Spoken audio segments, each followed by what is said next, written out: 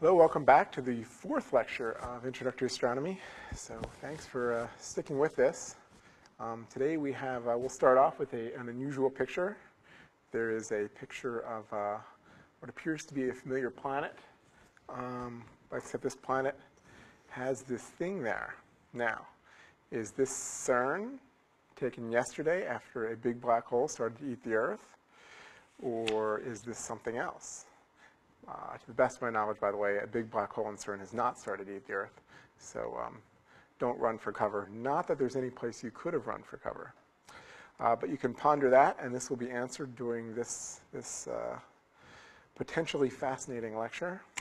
But first, the legally obligatory slides that say this is uh, Physics 1600 Introductory Astronomy, um, brought to you at Michigan Tech, but available worldwide. Today, we will be talking about moon phases and eclipses, uh, lots of pretty pictures, lots of explanation as to what that is.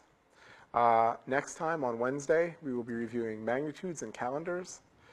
Uh, why is it that Monday is Moon Day, for instance? And next time we'll also be, reviewing the um, astronomy pictures of the day for the previous week. So this, this lecture is originating today, was September 15th, from Michigan Technological University in the Upper Peninsula of Michigan. I am Professor Robert Nemiroff. If you are taking this class for credit, then good for you. You can actually get credit by going to courses.mtu.edu. And you cannot get credit just from watching the lectures unless you get credit from your friends. They will give you a big hug and say, good job for following the lectures, but they will not give you course credit. So that won't help you graduate no matter what you explain to your local registrar. Um, uh, there are people here, um, but uh, they don't have to be here. Uh, you can get an A in this class just by watching the lectures online. Uh, but as I said, the lectures are online anyway, uh, even for people who are not registered for the class. You are welcome no matter where you are in the world. so first addressing the people in the class, what are you responsible for? you're responsible for the lecture material, things I say, things I mean um, the correct version of what I say. Uh, you're responsible for Wikipedia entries because there's no textbook that's required for the course. Um, you're responsible for the astronomy pictures of the day posted during the semester. Um, you're responsible for completing the homework quizzes and the midterm and the final. The midterm isn't yet posted and the final is not yet posted. So I know I keep reviewing this every week, but sometimes people might pick up on this lecture and they're wondering what's going on. So you should have by now completed homework one, homework quiz one. If not, if you're just watching this and still expecting to get credit without doing things like homework one, please see somebody because things aren't going as well as you think. Um, homework two is due soon. Uh, so please look into that. And the way you get to those, again, is at the famous courses.mtu.edu page. So I actually am going to read a little bit of mail I got this week. This won't be a um, email I got this week. This won't be a regular feature, but I got two interesting pieces of email this week. One is that um, from Umina Beach, Australia, uh, John writes in to say, John Moody writes in to say that uh, um, there's an appreciative audience in Australia and they're uh, discussing and posting the lectures to iceinspace.com.au forum. Uh, so uh, I don't know how many people we have down under, but uh, you're welcome to look in on this class. Uh, next, we have uh, an email I got uh, Friday from a librarian in Rome, Georgia, that asked something that many people are probably wondering. Um, I have a question for you, Janet Webb writes. if you have time, I am currently finishing my master's in library science. Wikipedia is a hot topic in library science, and I ask why you have chosen to use it. Um, have you looked through it and know that astronomy is authoritative? I do not mean to sound confrontational. It is truly a topic of interest to me and based on several classes and some research I've done on my own. So uh, there's a whole textbook cartel, and they haven't gotten me yet. So there's lots of textbook companies make lots of money, and a lot of the textbooks are actually very good. You can learn astronomy pretty well by going to a library, for instance, and taking out a textbook or going to any bookstore that has a course in astronomy and buying the textbook and going through there and answering the questions. And you don't need anything more than that. Um, but you can also now, uh, that was the way, you know, 20 years ago, that was probably your best bet of learning astronomy without um, taking a class. Uh, but now, there's lots of online material. and the online material dwarfs the, um, the book material. Uh, in my opinion, uh, Wikipedia entries on astronomy, particularly introductory astronomy, are very strong. This isn't true for, for many aspects of things, for other things outside of astronomy. For instance, there's a Wikibooks that has an astronomy textbook online, and it's really not very good. Parts of it are pretty strong, but it's just too spotty to use. But the individual entries on astronomy are very strong, and they've been looked over and edited and re-edited a lot. And they're not controversial. So uh, one of the reasons I went with Wikipedia because it's so good. Any textbook out there has been through several versions. I've had several people read it, and it's, it's usually very good. But now the Wikipedia gives you more information. And supposing that the lecturer can pick out the, uh, the information that's needed, I think Wikipedia is as strong as, if not stronger, than the textbooks. And um, what's better is it's free, and it's continually updated. Textbooks are frozen in time. So the textbook being used in most of the classes in, in astronomy uh, throughout the United States, they don't know the latest thing from the Phoenix lander on Mars. Uh, all they might mention is that there is a Phoenix, lander going on Mars, we're going to talk about that. They don't include the latest eclipses, so I have pictures from some of the latest eclipses here. Uh, although that's not crucially important to understanding topics in astronomy, um, it's cool to know what's going on, right? And the web allows you to do that. And Wikipedia is particularly strong in the background, and APOD is strong in the topical presences, topical things. So, so I would say that across the board, it might not be good to teach every class using Wikipedia, but I think there's an increasing bunch of classes, group of classes that can be taught you know, with Wikipedia, and the students won't have to pay for a textbook, and they'll be getting something even more. I think it's going to be a while before this is adopted because the textbook cartel is, you know, a multi-million dollar business, and they're just not going to give up. They currently package their um, things with CDs, and you can go to the textbook website, and they link to all kinds of things, although I don't think they'll be linking to APOD as much after this series of lectures, but uh, that's fine. And they even link to Wikipedia to show that they're modern. But um, I think that they're an outdated outdated mode of, uh, of communication, and this is the way of the future. That's just what I think.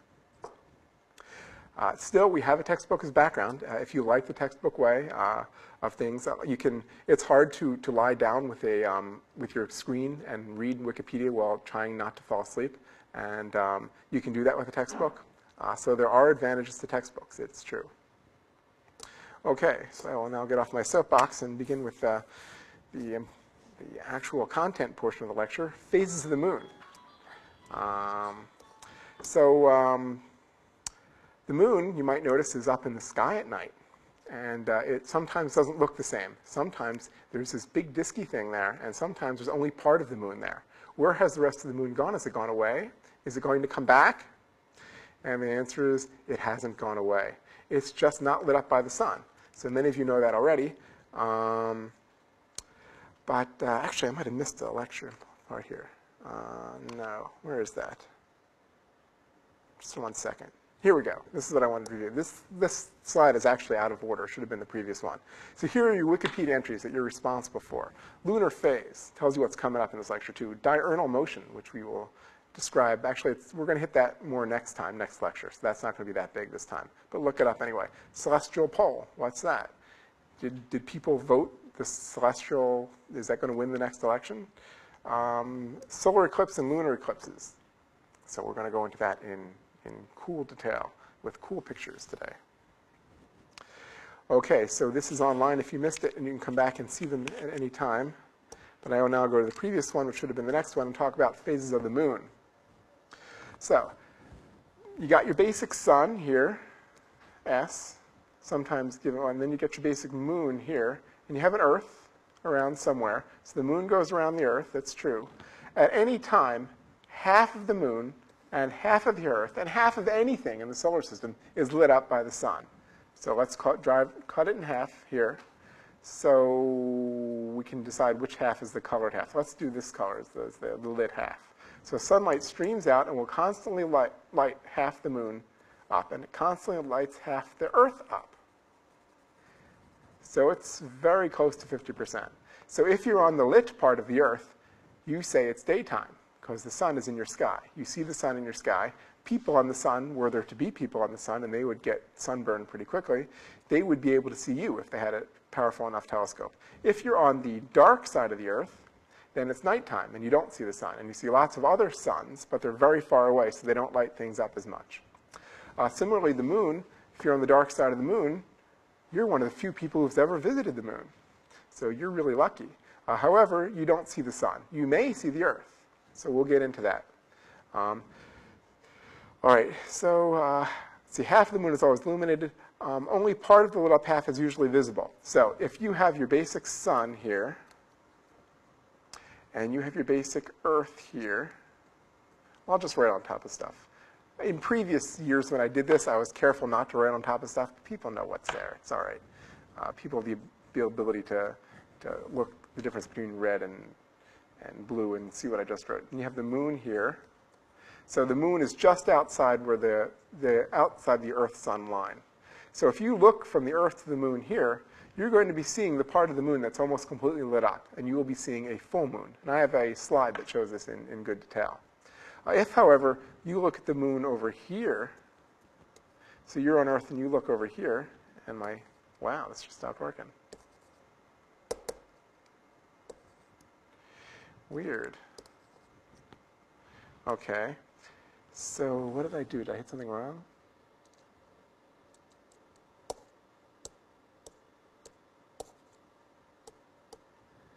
Okay, just a second. Technical difficulties. All right, so um, here, here's the pointer. So the Earth is here, you see the moon in this direction, and you don't see the, the moon fully illuminated. Um, you see only, um, you only see part of the moon illuminated, and therefore you only see a phase of it. Um, only, let's see, I use my finger. No, okay, things are getting bad then. Um, the moon, okay, the moon is locked to the Earth in the sense that the um, only, the moon always shows the same face to the Earth. So when the moon orbits the Earth, you're always seeing the same part of it. So when you hear about the dark side of the moon, some people think that means the part of the moon that's um, always facing away from the Earth. But that's not true. The dark side of the moon is the part of the moon that always faces away from the sun because if it was on the light side of the moon, it would be lit up from the sun. So the dark side of the moon is sometimes where we can see it, and that's part of the moon. If you see a crescent moon, that's part of the moon that's, um, the crescent part is the part that's lit up, and the other part is the dark part of the moon, dark side of the moon, dark half of the moon. Okay, let's hope we can go to the next lecture, like next slide here. Oh, we were able to, okay. Um, still trying to clear this. All right. Uh, we're going to have some unusual things written on there because I don't know how to clear it.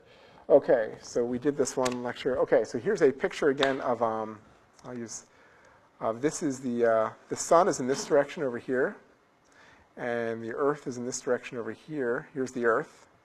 And so this is the time on the earth. So if it's at noon time on the earth, then the sun is directly overhead in this direction, okay? Uh, and it's daylight. At 3 p.m., you're getting closer to sunset, but the sun is still awake, still on the sky, so you have to look over here to see the sun. At 6 p.m., uh, the sun is now setting over here, and this side is lit up. Um, so at 9 p.m., it's nighttime. Midnight, it's certainly nighttime. 3 a.m., the sun hasn't risen. Then at 6 a.m. over here, the sun is rising. At 9 a.m., um, the sun is uh, the sun has risen and you can see it, and then you go around again. So every day as the Earth spins, that happens. Now, the, the moon orbits the Earth in the same way that the, um, that the um, Earth rotates, but it does it slower. So when the moon is not there, when the moon, you're looking at the moon, so when the moon is in front of the sun, either you see a solar eclipse or you don't see the moon lit up very well uh, because the moon has to be exactly aligned with the sun to make the sun go in eclipse. And if it's just mostly aligned with the sun and not directly in front of the sun, then you're not seeing almost any part of the moon illuminated. You just see a new moon. Okay, this new moon. So then, as the moon moves about, orbits the Earth. So the moon orbits the Earth, and the Earth and moon both orbit the sun. Uh, you'll eventually see a crescent. So here we see a crescent moon here. So you only see a little bit. Then you see this says first quarter moon there, and I wish I could erase the text, but I can't just now. Um, then when you see more than half the moon, the first quarter moon is actually appears to be half lit up. But if you think about it, you're only really seeing a quarter of it lit up. Uh, over here is waxing gibbous. So gibbous is the other part. It's not a it's not a crescent. It's when you see more than half the moon lit up from what you can see, but there's still a dark part. A full moon, you see the whole moon lit up. Um, here it is gibbous again, quarter again. Now, waxing means it's increasing, and that every night you're seeing more and more of the moon lit up. And waning means it's decreasing, and every night you're seeing less and less of the moon lit up. So this diagram here, you could probably figure out now to write. It's not hard to do. Um, but it's also very useful in figuring out logic puzzles, as we will see. Oh, so here's the moon. This is really cool. This is the moon over the time scale of a month. Um, this is uh, starts out new moon right now, full moon right now. So these are the quarters, here are the gibbuses. And you can see that you always see the same half of the moon, pretty much. This is a really cool, cool image, as you can see this on APOD. Uh, it's been posted several times. Uh, you can just keep watching this for hours again until you become nauseous and, and um, need to uh, visit the bathroom. But um, uh, you can see um, the moon uh, does something called librates. It slightly vibrates uh, so that you can see a little different part of it each time. So it's not exactly lined up, but it's still mostly showing only one face. So the far side of the moon is on, we don't see at all, and we didn't see until recent history, until um, what about 40 years ago, maybe 50 years ago, when the um, spacecraft finally went around to see the far side of the moon. Uh, so the dark side of the moon eventually grows to incorporate the whole moon. So one full lunar cycle is called a lunation and takes about a month. Okay, so sunrise versus moonrise. So the sun always rises in the east and always sets in the west. Um, the moon also, that's dominated, the sun actually isn't really moving uh, with respect to the Earth. It's just the Earth's rotation that's doing that. Uh, the moon uh, also appears to rise in the east and sets in the west, as do all the stars. And again, the reason for that is the Earth's rapid rotation. The Earth is spinning about faster than the moon is going around. So to a first approximation, the moon is just static. It's like stapled into the sky. It's like one of the stars. Uh, and like the sun. And so the, the Earth's rotation keeps overriding it. So um, everything you know sets in the west. Um, so the Earth rotates faster than the moon. Okay, so there are little puzzles like, um, so it sounds real easy now. Oh, I can understand this moon phase. That's obvious, right? All I didn't know was maybe these, these waning and waxing phases, although I've vaguely heard of them before. But here's a quiz uh, that suddenly sounds impossible. So you're in Houghton, Michigan, let's say, at 3 p.m. during a full moon. So the logic question is, when and where is the nearest time you can see this full moon? So yeah, I give you the answer. But if you didn't know that, I mean, you can just repeat the answer, but it doesn't mean you understand. So if you, you really need to understand if you want to answer some of the quiz questions. Uh, so how do you do this? Uh, this thing that previously seemed um, obvious now seems impossible. Which brings me back to one of the, the uh, soapbox points of life that I like to point out that typically in, in life and in astronomy and in this course, things are uh, impossible until they're obvious. So this is one of those things. Uh, many times you're given a problem, you just look at it and say, I don't know where to start. This is ridiculous. How can anyone expect us to know this stuff? How can you possibly know? What do you mean full moon? What, what is that again? Where is the full moon? It doesn't matter where full moon is. Houghton, Michigan, why does it matter where Houghton, Michigan is? How can that fit? It's just impossible. Who could figure this out? This is ridiculous. And then when you see it, it's like obvious. It's like, well, yeah, everyone should know that. How can people not know that?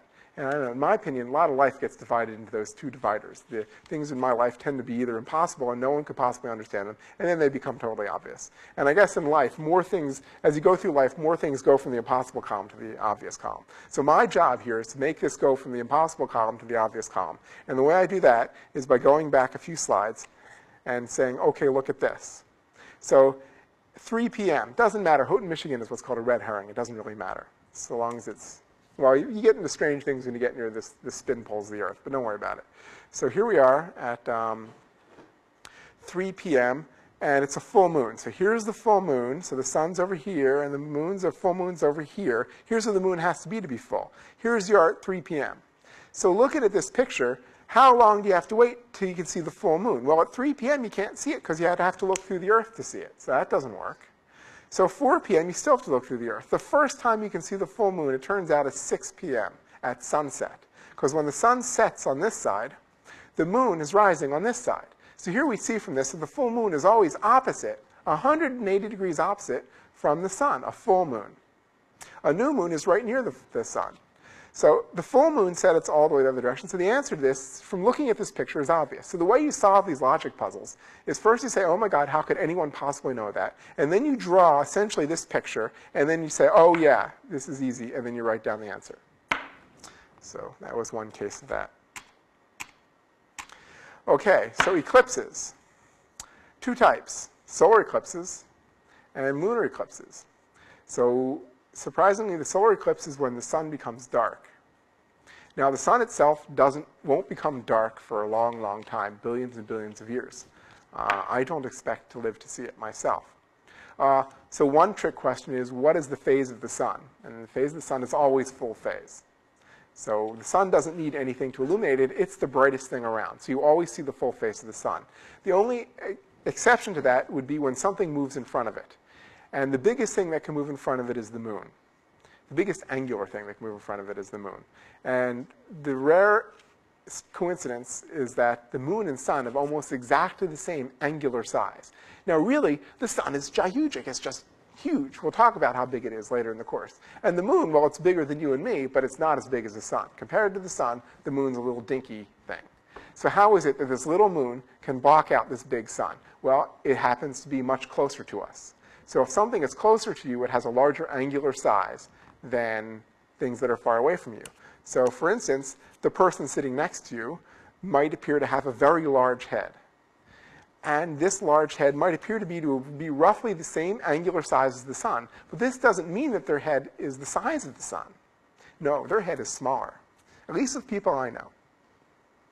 Um, so so that's the way a solar eclipse works. The moon, which is actually smaller than the sun, is much closer than the sun and is approximately the same angular size as the sun. And so when it moves in front of it, it can block out most or all of it. If the moon was even closer to us, then it would block out the sun for longer periods of time during a, during a solar eclipse. The other type of eclipse is here, the lunar eclipse. So the lunar eclipse is when the moon becomes dark. So why would the moon become dark? Well, the moon becomes dark once a month anyway when it's right near the sun because the part that the sun is illuminating isn't visible to us. So we're only seeing the unilluminated part of the moon and it appears dark. But the moon, in very special circumstances, can appear dark when it's near full. And that is when the shadow of the Earth falls onto the moon. When you have near exact sun, Earth, moon alignment. Um, so again, we've, we've already reviewed angular size, and we've already reviewed um, uh, strange coincidence. Okay, so let's go into total solar eclipses. These are spectacular. People take off from work. They spend sometimes a year or sometimes more planning to go attend a solar eclipse. Sometimes they're um, rained out, so they spent a year and lots of money uh, going to some remote part of the world to see the moon totally eclipse the sun, and then it rains. Uh, sometimes, though, uh, and there's people post their, their eclipse stories uh, on the web. Sometimes uh, some are exciting. They're chasing it on a bicycle, trying to find uh, an open spot, and they found a spot where there, there's a break in the clouds, and they're able to see uh, total eclipse of the sun. Sometimes it's a piece of cake. There's not a cloud anywhere, and then you just sort of wait, and people sit in lawn chairs, and you don't you never look at the sun even when it's being eclipsed because it's really really bright. And so you'll have, if you look directly at the sun, you'll have a really good view of the sun for a couple of seconds. And then you might see nothing for the rest of your life. So um, what you need to do is come up with some kind of contraption that has like a little hole in it, and then you look opposite the sun at an image of the sun. Uh, it's even worse to look at the sun through binoculars or telescopes. So don't even, don't even think of trying that. Um, so what happens is, in a total solar eclipse, is that the penumbra, which is, penumbra is part of the Earth that would see part of the sun eclipsed. The part of the part of space that would see the moon totally eclipsing the sun, so you don't see the sun at all, is called the umbra, and it's really dark there. So in this picture, you can see the umbra where it's really dark. It turns out that the umbra actually touches the Earth and moves across the Earth during a total solar eclipse. So if you're in the path of totality, it's called, you will see the moon move right over the sun although it's less spectacular, it's easier to be in the penumbra and see the moon cover part of the sun. So a total solar eclipse is relatively rare, occurs every few years from some part. It occurs where you are, maybe only every decade or so. Um, uh, when the total eclipse occurs, you see uh, what's called a solar corona, which is uh, not generally visible when there's not a total solar eclipse. So, uh, you know, later in life, or if you're in a if you're in a lucky place to be able to see a total solar eclipse, I would advise trying to get the proper um, eye equipment, which could just be a, a, piece of paper with a hole in it, uh, looking at an image on another piece of paper to make a pinhole camera. You can see a total eclipse that way. Um, or uh, it's fun to chase these. You get a good story, uh, and you might actually see, you might actually see the uh, total eclipse. Uh, many times people plot out places where they think the, the is going to be good. And you can even change that at the last minute. So you get the weekly weather forecast, and you're watching it like a hawk around the area where there's supposed to be a total solar eclipse, and you try to find a place uh, that uh, is not blocked, not clouded out. Uh, here is what uh, people are seeing. Uh, this is a, right here is a partial solar eclipse. So part of the, part of the sun is being blocked by the moon. And uh, so these people are not currently seeing totality. Uh, they're in the penumbra, not the umbra. And still, though, it looks pretty cool. Uh, this was taken with a camera, so I was able to look at it directly. Uh, so here we see across the top, I again apologize for the things that won't disappear. Uh, so here is the sun before the moon. The moon is near it, but you just can't see it. So the moon is a new moon right now. It's not well illuminated by the sun. It's relatively dark, especially compared to the sun. So it's there, but you're just not seeing it. So in the next part of this time lapse of this uh, eclipse in 2000, total solar eclipse over Turkey in 2006, you still see the sun. Then suddenly there's like a bite out of the sun as the moon starts to move in front of the sun. And there's even more, even more, even more, even more. Then there's just a sliver of the sun. And then the moon covers the total sun, and around you see the corona of the sun, which are outer, hotter layers, which we will cover in later lectures. Then the moon, that will be usually for a couple of minutes. It could be really short. It could be on the time scale of seconds that you see it, but you're only going to see it for a couple of minutes. Uh, then the moon will start to move off, and uh, eventually the sun will return to its uh, previous glory. It's a, one of the strange coincidences that's well not well known. Why is the angular size of the moon and the angular size of the sun about the same? Nobody really knows. It is just a really, really strange coincidence. Maybe it has something to do with the development of life on Earth or the types of uh, planets that would develop life. I don't know. It's very strange. People have speculated on that besides me. Okay, so here is the uh, vanishing umbra. So here things are getting, uh, here you over in this part you can see where there's a, um, the sky is dark because the upper part of the Earth's atmosphere is not receiving sunlight because the moon is blocking it. Here you're seeing where the sky is brighter. You're seeing a really cool mountain in the distance. Um, and uh, I think this eclipse is uh, ending. The umbra is uh, changing to the penumbra. The fully blocked sun is moving to the partially blocked sun, and then the moon will move off, and it'll be, you know, a decade before that part of the Earth sees um, sees it again. So these people have realized by now that this telescope wasn't doing them a lot of good. Um, so they're out just looking uh, toward the direction of the sun, hopefully not at the sun. Uh, ah, here's the picture that we started with. Uh, this is a very interesting picture. It was taken from the Mir space station before the International Space Station was uh, set into orbit, or any part of it was set into orbit. Um, and the uh, astronauts on there looked back and had a really cool view of an eclipse. I really like this image because it really shows an eclipse from a different point of view. Uh, these people here in the middle, they are seeing right now a total eclipse of the sun, assuming these clouds don't cover them. Uh, these people out here are seeing a partial eclipse of the sun. This thing is zipping across the Earth, moving across the Earth. So these people over here are now, assuming they have clear skies, are now going to be able to see a total eclipse assuming it moves in this direction. By the way, you can get on planes that try to fly and be in the, um, in the, the, maximum part of the shadow for as long as possible. They have uh, joyrides now in, in, several airplanes you can, you can book. I don't think it's cheap, but I don't know how much it costs. Uh, so you're actually looking down on an eclipse here. So I think that's a really cool image. Uh, here's another one. It doesn't always appear circular. Sometimes uh, if you're near the, the limb of the Earth, the edge of the Earth, you can get a long oval. And so in this part here is where there's a total eclipse, and out here is where there's a partial eclipse, and out around there, there's no eclipse. The big corona. So if you're lucky enough to see an eclipse, here's what you see at totality. The moon totally blocks the sun, and this part of the sun, which normally is much dimmer than the center part of the sun, now is brighter than the rest of the sky. So the moon has been eclipsing the sun for as long as recorded history. Uh, and this is the first realization. They, don't, they didn't know what it was, but even thousands of years ago when they saw this, you could see the corona of the sun. The corona of the sun is best seen with um, the eyes, not with photography. So over much of the past 150 years or so, there has been um, photography from the point of view, it's not digital photography. They just had photographic um, plates and photographic prints, and that would, you know, light would strike and you would see images. And that photography generally doesn't have the, the depth to show what uh, dynamic range between the bright and the dim to show the true, truly how spectacular a total eclipse of the sun is.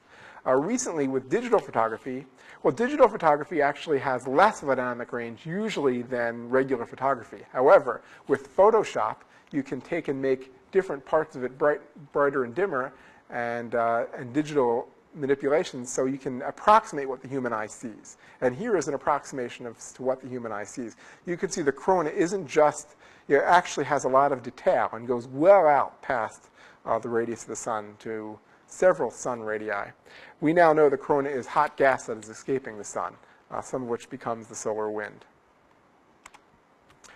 People go to tremendous lengths to see an eclipse. This is a really cool picture taken of a 2005 eclipse where there's a bunch of things that are lined up.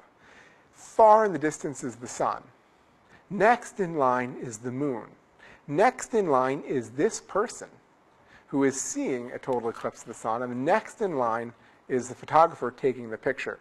So there's four, and this is taken in Antarctica. So if you're too lazy to wake up to see a total eclipse, think what other people are willing to do. They're willing to hop planes that you can't get from major airports uh, to get to Antarctica and then trek over the frozen tundra uh, for long periods to get to a place where they can sit down in their lawn chair with their bag and their friend taking the picture and experience for themselves the total eclipse of the sun. And here it is with the corona. So this person then, assuming they return alive, um, which they did, I'm pretty sure, uh, has a tremendous story to tell of the total solar eclipse that they saw. Uh, just before or just after the total eclipse, there's something called the diamond ring. So you can see the corona around the sun, but then uh, part of the sun suddenly peeks out and might have been visible just before, too. So uh, it peeks out, and it's called a diamond ring because you see a ring of light around the moon, and you see a really part, bright part. And why is that? Why isn't the, you know, I guess there has to be one place where the, the sun comes out first. But it is actually the non-roundness of the moon that becomes important here. Uh, there are um, uh, mountains and valleys on the moon, and when the sun peeks through between mountains and valleys to a relative valley, uh, then that's where the, um, if there is a um, bright uh, diamond ring, uh, that's when it appears. Um, so this is a, the, the catchy title, I think, was written by Jerry, uh, my co-author in APOD, When Diamonds Aren't Forever. Uh, so this diamond is going to be going away. This diamond ring is going to be going away. so I could break off and tell an interesting story for a minute here about um, I used to be debated whether the moon was perfectly um, spherical or not. So this was a debate between Galileo and the then church, not the modern, more enlightened church, but the then church at the time of Galileo. Uh, they would preach that the, um, the moon was perfect sphere. And so Galileo had a telescope. And uh, so he was one of the first people ever to turn the telescope to the sky. So he turned the telescope to the sky and he found out some obvious things. So it was impossible to see these things until you had a little telescope, and then it was obvious. For instance, Venus has phases. You can't tell that with the human eye. Uh, but you can tell it with a small telescope, even a very small telescope. Uh, the, the bright and dark spots on the moon, they're craters. you can see the circular craters with a small telescope, but you can't see it without. You can also see that there are mountains and valleys on the moon. So Galileo started telling people there are mountains and valleys on the moon and inviting people over to look through his telescope. And they thought that was really cool. But the church heard about it and they said, oh, no, that's not cool because the moon's perfect sphere. So Galileo started inviting people from the Roman Catholic Church at that time uh, to look through the telescope and say, well, what do you see? Yeah, just tell me what you see. And so they were seeing what they thought were mountains and valleys, and they didn't understand it. Because the moon's perfect sphere, how can that be? So they came out with a, um, with a proclamation that, yes, this moon appears, our moon appears to have mountains and valleys, but it is covered by a clear, transparent um, covering, which is perfectly spherical. So Galileo thought about that for a while, and he said, yeah, you know what? You're right. There is a transparent covering of the moon, but that transparent covering has even bigger mountains and valleys than the moon we can see. And with enough responses like that, they dragged um, Galileo in and made him uh, appear before the Inquisition and made him recant all of that. Modern, though, the modern church of even the Roman Catholic Church will admit freely, the, the Pope is a big fan of cosmology and astronomy and will freely admit that there are mountains on the moon. And they see, they see the, uh, the universe as slightly different than they did uh, four or 500 years ago. Okay, so here we see um, this is a, a distorted moon. Uh, there's something called Baily's beads. So if you see one bead, it's a diamond ring. So this is sort of a diamond ring here. But sometimes there are several mountains and valleys that, are, that sunlight is streaming through. And someone named Bailey was one of the first people to, to pick this up, although it's been seen for thousands of years. So as the moon goes into, as the sun goes into total eclipse and comes out of total eclipse, here you see a sequence of images. And again, it's been stretched this way, so it takes up the whole screen. And here you see a total eclipse, but then slowly the, um, the sun comes out, and that's how it does. And you see it's slightly different in each direction because the mountains and valleys on one limb of the moon are different from the mountains and valleys on the other limb of the moon. And this was taken with the most recent uh, uh, eclipse that was taken uh, just in 2008 in uh, oh, early August, August 1st, apparently, according to the date on this image. Okay, partial solar eclipse I've discussed before. It's when the moon only partly blocks the sun. This can happen in two ways. When you only see, like before total eclipse, there's a partial eclipse. Not the whole, the whole sun is not covered. But there's also something called an annular, eclipse. And that is when the moon happens to be far enough away from the Earth so that, I can't do it with this again. So the moon here is far enough away from the Earth so that it cannot block the entire sun. If the moon was closer, it would be angularly larger. If it's far enough away, it's angularly smaller. It does not block the entire sun. And then you get something that's become more popular recently called the ring of fire. It's when you see the sun only around the edge of the moon. This is a ring of fire. So it's photogenically placed in front. The picture was taken so that there were um, palm trees in front. And here you see the moon is so far away that you can see the sun all the way around. And it's not perfectly centered, because it rarely would be. Uh, this is the ring of fire all the way around. Pretty cool. So this moon will never, this during this time period, during this eclipse, the moon is just too angularly small to cover the entire sun. It can't happen. So you shouldn't wait up for it. Uh, when it passes in front, this is the most of the sun that's ever going to be covered during this eclipse. Um, by the way, when people take images of this, uh, we like there to be uh, it helps, in my opinion, when people send images to APOD, if they're watching, to, um, to include some foreground thing that gives it uh, a difference in scale. So what, one thing I like about this is that um, you're seeing familiar things. You're seeing the sun, but the sun's weird. You're seeing the moon, but you don't recognize it the moon. You see a, um, a tree in the foreground, and it's a familiar tree, and it's a different color tree. So it adds, it's also a different texture tree. So you have the texture of the clouds, you have the texture of the sun, uh, the texture of the clouds on the sun, and you have the strange texture of the tree, and it's all taken with a single image. It's all caught together, aligned. Uh, so I, I, think that makes it particularly interesting. That's why I like this image a lot. And this is one of the many times when we're asked, how do you pick your, image, pick your images for APOD? When I see an image like this, you know, you know, like you know right away. There's not a decision-making process at this point. It's like, wow, that is really cool. And you know that you have to write it up and put it up on as an astronomy picture of the day. Uh, the sun and the, the moon is not the only thing that can eclipse the sun. Uh, uh, Mercury actually eclipses the sun more frequently, but it's, Mercury is such a small, Mercury is just about the size of the moon, uh, a little bigger, but um, it's so far away from the Earth that it doesn't take away much sunlight when it passes in front. So it's not that spectacular. It doesn't take out much sunlight.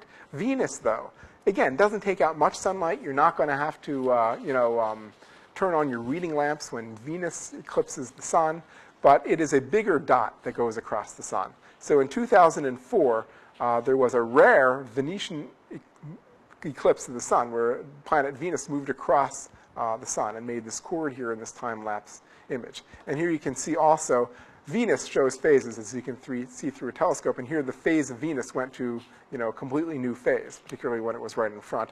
And here you see a picture of the sun with Venus um, in front of it. Uh, this is one of my favorite Venus transits the sun's images. Again, you see a familiar sun. You see clouds, earth clouds, uh, you know, covering the sun, which is not so unusual. But there is something particularly unusual. You never see a cloud that's just like that, do you? This cloud, if it was a cloud, would have been a perfectly circular, spherical cloud, and you don't see that. So what I like about this image is you look at it, it looks like, oh, some artistic image, and then you see something really weird, and you think that can't be true, but it is. This picture was taken at just the right time to catch Venus in front of the sun. So they got the artistic merit, and they got the technical uh, timing just down at the right time to get a really cool picture.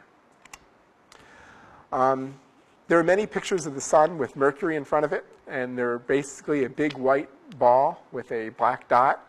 This I thought was pretty cool because here you see uh, the most common thing to block the sun are clouds, right? So here you see clouds blocking most of the sun, and here you see a little Mercury, and I think this was in 2006, or it was a rerun from an earlier uh, Mercury is close enough to the sun, so it, as I said, eclipses it fairly frequently.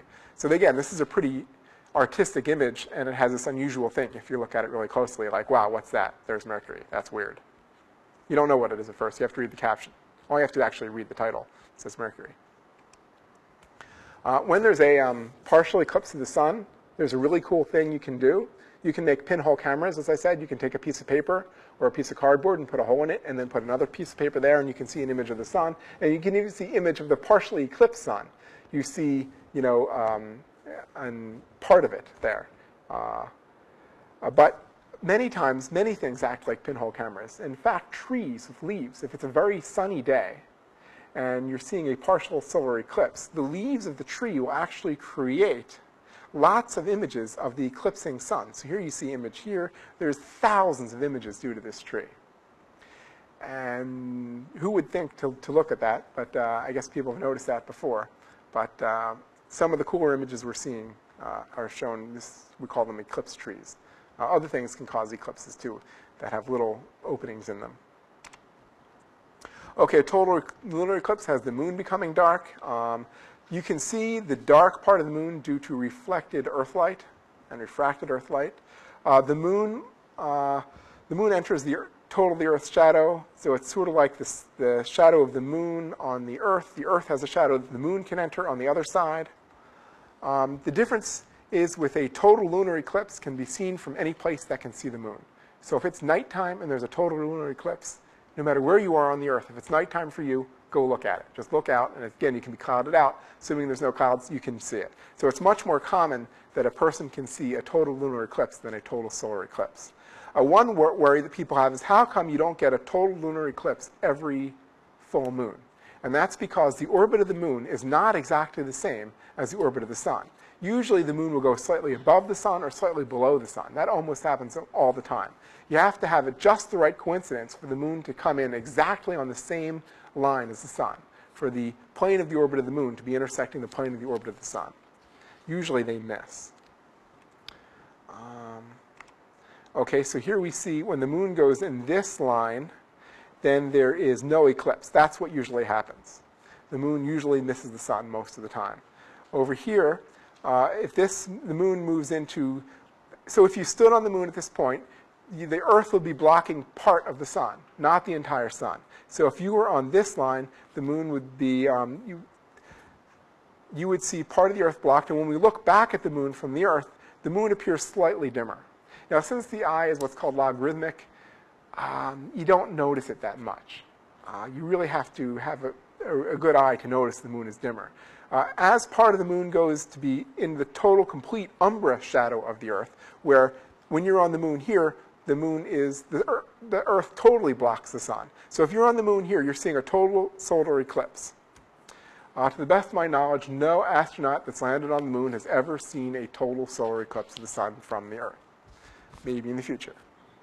Uh, but were you to do that, you would see that. And then looking back at the moon, we see the moon would be totally dark. It's not getting any direct sunlight.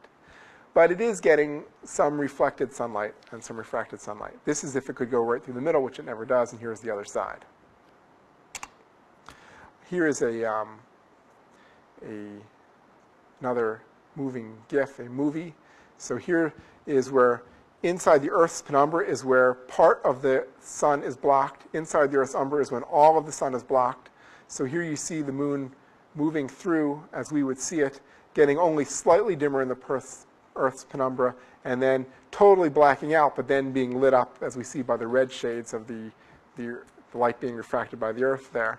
You can also see that this part that's closer to the penumbra uh, is generally brighter than the far part because it's getting more refracted sunlight.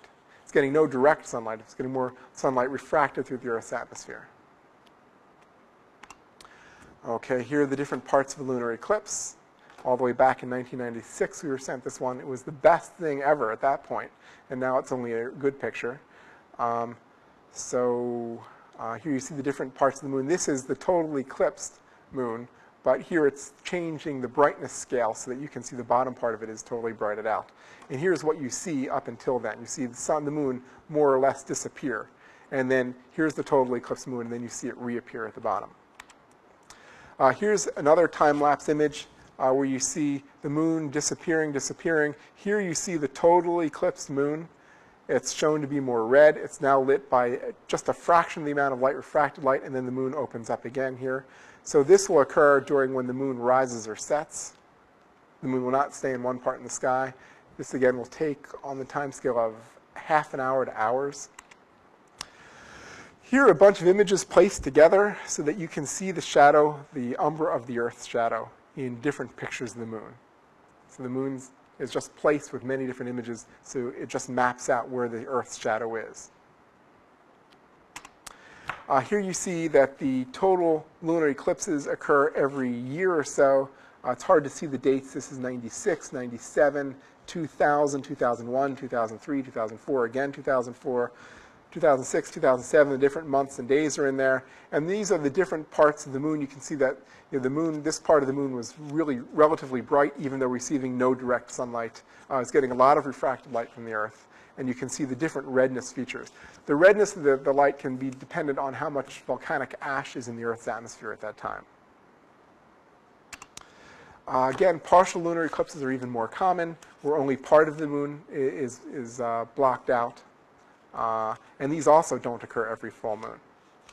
Uh, so that will occur every, you know, um, possibly every year or more, more commonly.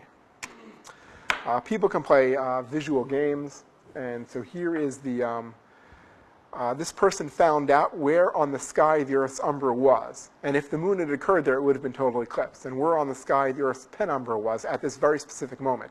He then had a friend stand somewhere, and he stood with this big disk that was calculated to be exactly the size of the Earth's umbra, the, where it's darkest. And here you can see the moon, it was not only planned in space, it was planned in time. So the moon would be right there, and this part of the moon would be missing because it would be inside the Earth's shadow. So a very clever photograph taken by some people who did a lot of planning. Um, and uh, finishing up, here are the future eclipses to look forward to. Lunar eclipses, a partial eclipse will occur actually no more this year. You have to wait until um, 2009 to get a, a partial eclipse of the moon. And to get a full total lunar eclipse, it turns out you have to wait a little bit. It's, uh, oops, previous, uh, 2010. Solar eclipses actually were a little bit um, more lucky. There's an annular eclipse coming in January 2009. a um, total eclipse July 22nd of uh, 2009. We now know exactly when these things are going to occur. And as you can see, there's two, there's an annular and total eclipse in 2010. So uh, they probably won't come to right where you are, wherever you're seeing this. You're going to have to go on the web and look and find where they are. So if you want to go chase them, they will tell you on the web where to go. And you can probably find other people who are going to chase them and, and conserve resources and have more fun by going with other people to do that. So uh, this uh, concludes our uh, today's lecture on eclipses. And uh, so uh, next time we'll talk about um, how bright things are and, and things like that, magnitudes, stuff like that. So we'll see you next time.